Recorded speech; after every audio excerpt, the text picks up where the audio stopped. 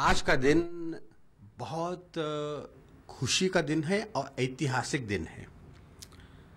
मेरी क्रिसमस है। Jesus Christ ने जो एक शांति का संदेश दिया था तो उसके अनुसार आज सही मायने में मेरी क्रिसमस हो रहा है।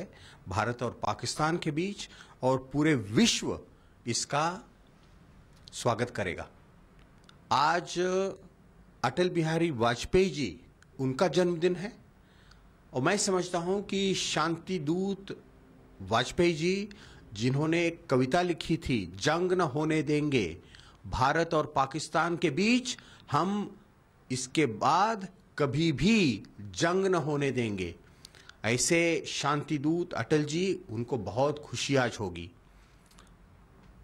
प्रधानमंत्री नरेंद्र मोदी जी ने इतना साहस का कदम उठाया है मैं तो तहे दिल से इसका स्वागत करता हूँ।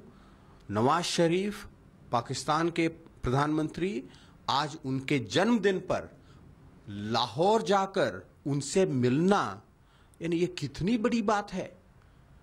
हाँ, सुखद आश्चर्य की बात है और मैं समझता हूँ कि ऐसे ही साहसिक कदमों से इतिहास बदलता है